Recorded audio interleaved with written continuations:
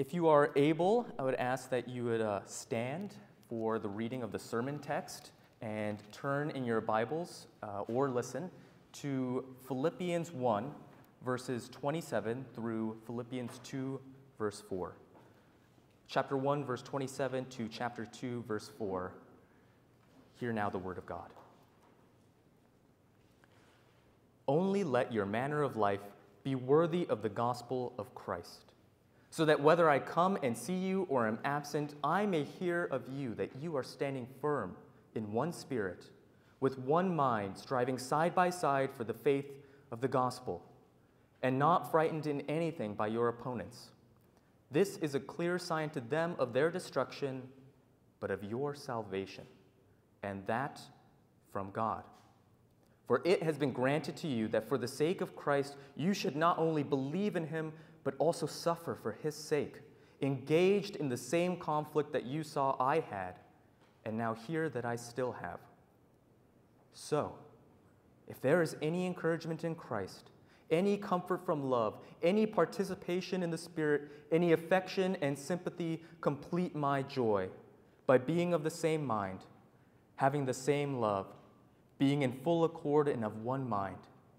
Do nothing from selfish ambition or conceit, but in humility count others more significant than yourselves. Let each of you look not only to his own interests, but also to the interests of others. The grass withers and the flower fades, but the word of our Lord stands forever. Please bow with me in prayer. Heavenly Father, May you give to us eyes to see and ears to hear what your Son proclaims to us this morning in your word. May your Spirit illumine to us the riches of your mercy and grace, all to the glory of your name. We pray all this in Jesus Christ our Lord. Amen. You may be seated.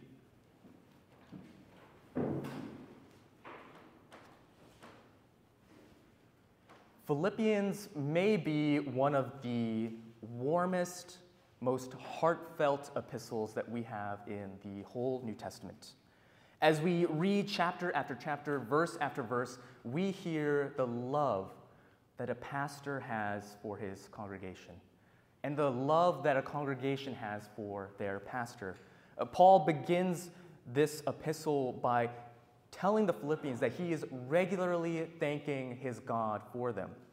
And verse after verse, we feel the joy of Paul towards this church, a church that has partnered with him in the gospel. In chapter 4, we read about how they financially supported Paul and were there with him even despite his suffering, despite his imprisonment. And so we might read this epistle and think here is a model church. Here must have been a perfect church, maybe even. But the Philippian church was no perfect church. Uh, it's not a model church ultimately because, like all churches, it struggled with sinful tendencies. And we see that, uh, for one, they, in, they experienced opposition. Uh, we read in verse 115 of those who were preaching for selfish gain, for rivalry, for even wanting to put down Paul. In chapter 3, we read about those who were trying to put the Philippian church back under the law.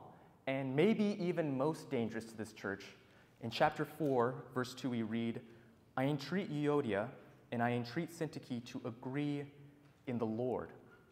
What Paul gives us a glimpse there is that for some reason, these two women, Euodia and Syntyche, potentially some of the founding members of this church, were in conflict with one another, disunity, and maybe even threatened to tear this church apart. Paul knows this. Paul loves this church.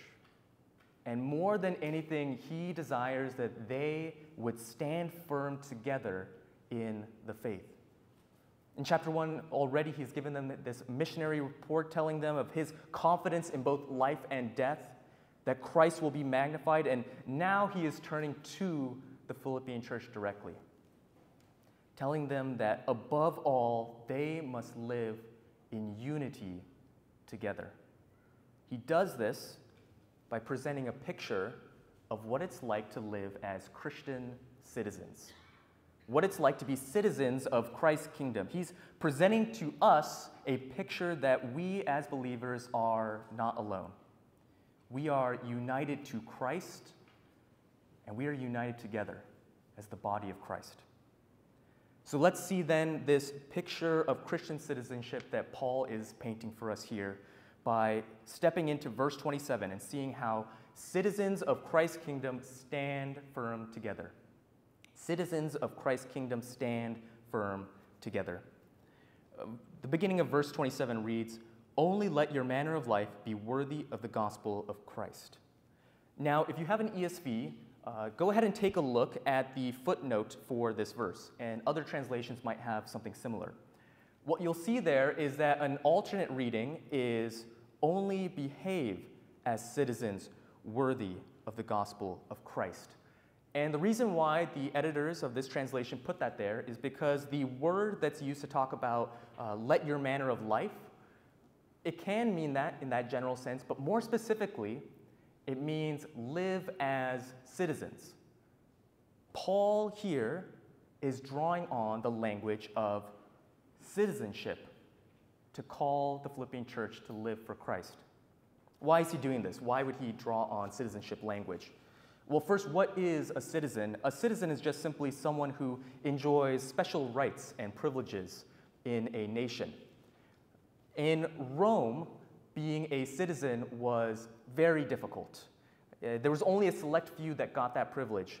Paul, in fact, was one of those select few, and we see in Acts that one of the privileges that he had as a citizen was being able to appeal his case all the way to Caesar's court.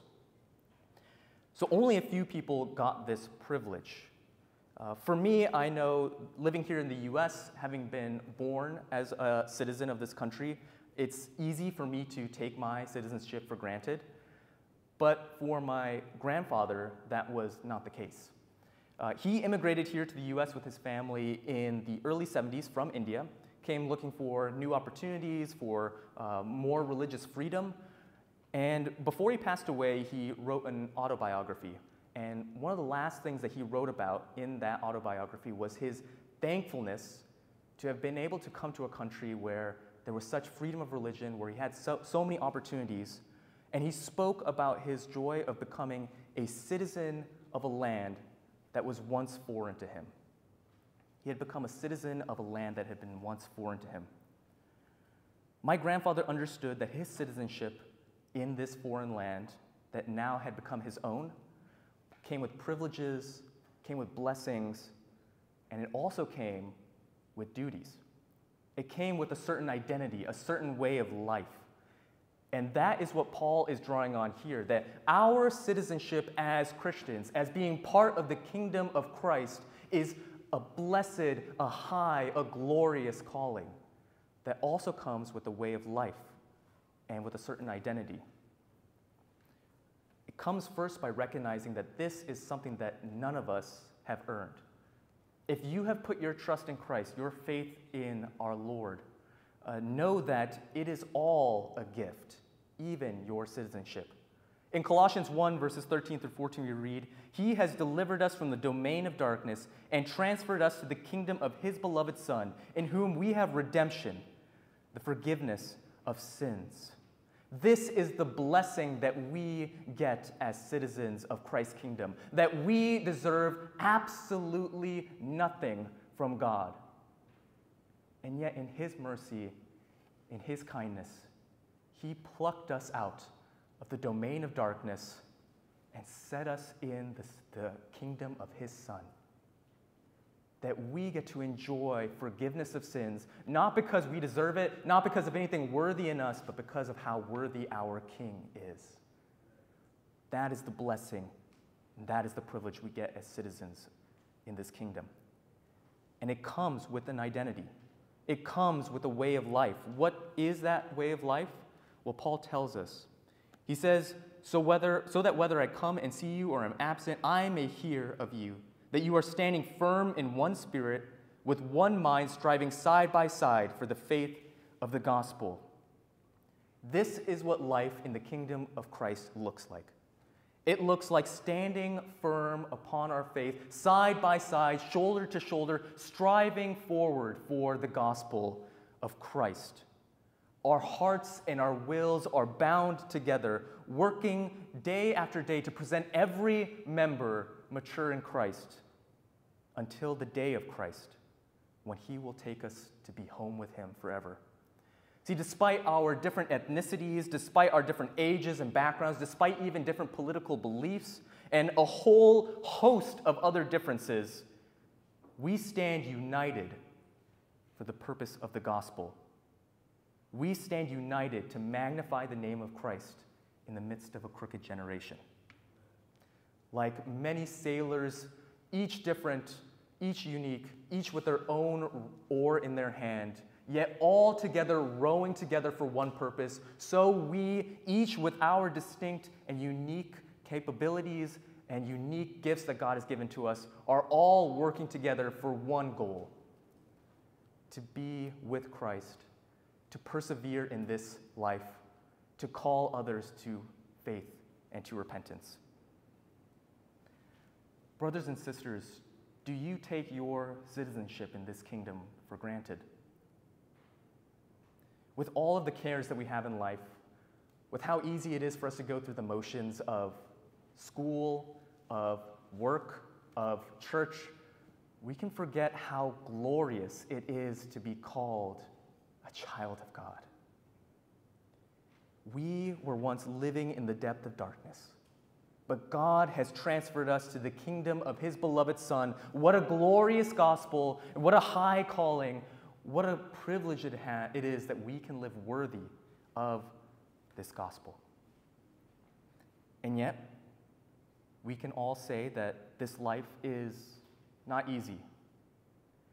As long as we are sojourners on this earth, it can feel like a battle to trust Christ. And Paul understands this. He goes on in the following verses to explain that despite opposition, despite suffering, despite these things that seem to upend our faith in Christ, we need not, be, we need not have fear in the face of opposition and suffering. We need not wonder at God's sovereignty, for God has appointed this for us, for His good purposes. Let's see in verses 28 through 29 how citizens of Christ's kingdom endure suffering for Christ's sake.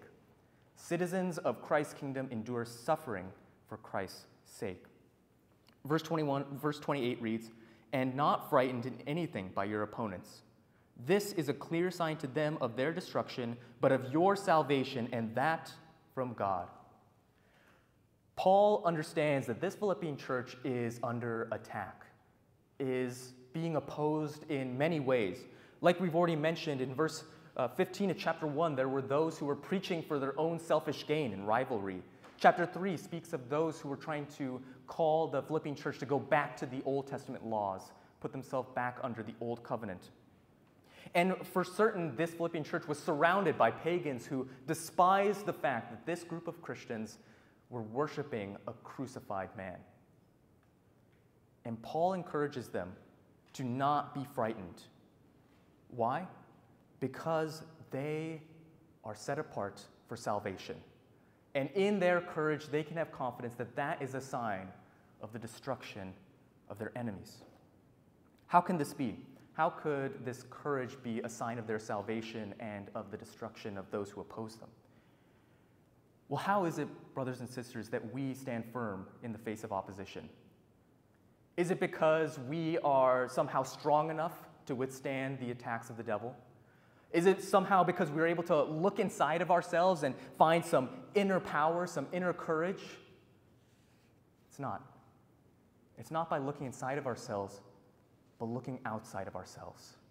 It is by looking to Christ and there seeing the one who was opposed by men upon earth, was opposed by the devil, and yet stayed, persevered to the end, suffered on the cross in our place, died, rose again, and is seated on high upon his throne.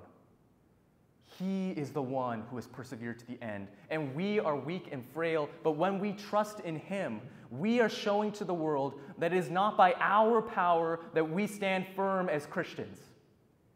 It is by the power of the Holy Spirit who has united us to Christ. Paul, in verse 6 of chapter 1, had said, He who began a good work in you will bring it to completion at the day of Jesus Christ. That is our confidence that God began a good work in us the moment that we put our faith in Christ. And He, by His power, will bring it to completion at the day of Christ. Do you endure opposition in your life? Uh, some of you, maybe at work, feel like your faith is ridiculed or opposed, maybe at school from your neighbors around you, or just simply from seeing the ways that Christianity is often mocked today. Have courage, brothers and sisters. Do not be frightened, for we worship a king who will persevere us to the end. And suffering goes beyond just merely opposition from those who hate Christ. Uh, suffering is something that we can experience throughout our lives in so many different ways. In verse 28 through 29, uh, verse 29, Paul says, For it has been granted to you that for the sake of Christ, you should not only believe in him, but also suffer for his sake, engaged in the same conflict that you saw I had, and now hear that I still have. Paul here is not speaking about suffering for unrighteousness' sake. Not talking about the suffering that might come when we sin or when we uh, are going against Christ, but he is speaking about suffering of all kinds. Things from our struggles with health issues, financial struggles, uh, all kinds of suffering in this life are oppositions to our faith. They can turn us away from Christ. And yet, we can be confident that just like God is sovereign over our lives in the good times, He is sovereign over our lives even in our suffering.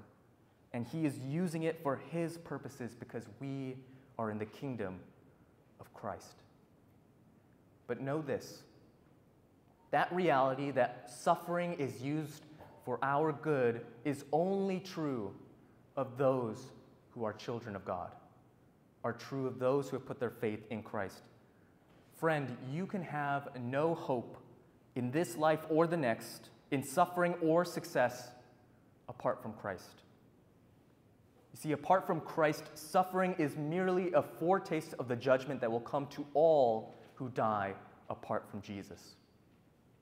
And so, if that is you, if you sit here not knowing Jesus Christ as King over your life, turn this day to trust in Him who suffered upon the cross for His people, who took on the shame and the condemnation that all of us deserve for our law breaking, for our sins against God, who died but did not stay dead, who rose again and who is seated on high. Turn this day to Him and find in Him purpose even in the midst of suffering.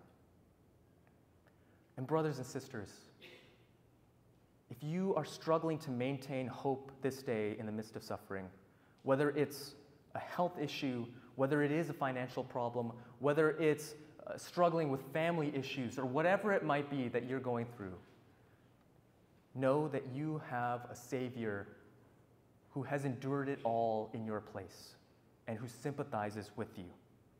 One who understood this was a 16th century reformer, Martin Luther. He's the one credited with sparking the Reformation because of his stand for the gospel, and he was a man who suffered unimaginable suffering, uh, more than any of us are probably going through. He was condemned to death, he was forced to go into hiding, he experienced constant conflict in his life, even rejection from close companions. He suffered great sickness from the plague and only just survived it, and regularly struggled with bouts of depression and self doubt. And yet, despite that, he could say these words Christian suffering is nobler and precious above all other human suffering, because since Christ himself suffered, he also hallowed the suffering of all Christians. What Martin Luther understood was that Jesus Christ humbled himself even to the point of death, suffered the greatest suffering that we could imagine, the wrath of God for his people. And he endured it to the end, and he sympathizes with you, brothers and sisters, in your suffering. The reality is, we rarely have the answers for the purpose of our suffering. All we can know is that God is using it for his glory and He is using it to refine us for our good, and that one day He will bring us to be home with Him, where suffering will be no more. Every tear will be wiped away, and we shall enjoy blessedness with His Son forever. With this in mind, Paul then wants to give this Philippian church a plan to live out this life, uh, a model to live out this life as they await that day when tears will be no more. Uh, do we need to endure suffering alone? Paul says no. Paul turns our attention to our union with Christ, and because of our union in Christ, to our unity through humility. So let's see now, chapter 2, verses 1 through 4, how citizens of Christ's kingdom live in unity together. Verse 1 of chapter 2 begins So if there is any encouragement in Christ, any comfort from love, any participation in the Spirit, any affection and sympathy, complete my joy by being of the same mind, having the same love, being in full accord and of one mind. Hear the tenderness of the Apostle Paul towards this congregation in chapter 1. He, he reminds them of the encouragement that is in Christ, a comfort from love, participation in the Spirit, affection, and sympathy. These are not just mere hypotheticals. He's not saying if as if we are not certain if they're true. No, these are true of all believers. Brothers and sisters, there is encouragement in Christ. There is comfort from love. There is partic- participation in spirit. There is affection and sympathy from a God who loves us and amongst believers who love one another. We are united in Christ, encouraged by Him, united by the Holy Spirit. We are bound together with these blessings, with this great privilege of this great love of our God. And because of that, and only because of who Christ is, we can have the same mind, the same love, living in full accord, living with one purpose. That is Paul's joy. In verse 2, his greatest joy would be to see this Philippian church mend whatever disunity, whatever bickering, whatever is separating them, so that they can live in humble unity together. In verse 3, we read, Do nothing from selfish ambition or conceit, but in humility count others more significant than yourself. Let each of you look not only to his own interests, but also to the interests of others. How do we stand firm on the gospel? How do we strive side by side for the purpose of Christ? How can we stand confident in the midst of opposition, in the midst of suffering? We do it because we are united to Christ, and we do it through humility for one another. We do it united, seeking the interests of others above our own. This is how we can make it through this life. Brothers and sisters, there are no lone Christians. Rather, we are all single mindedly together as brothers and sisters, as one family, as one kingdom, as we are citizens of it, to, go, to call others to turn to Christ and to build one another up in the faith. It is true, some are called to be ministers, some elders and deacons, others faithful lay members.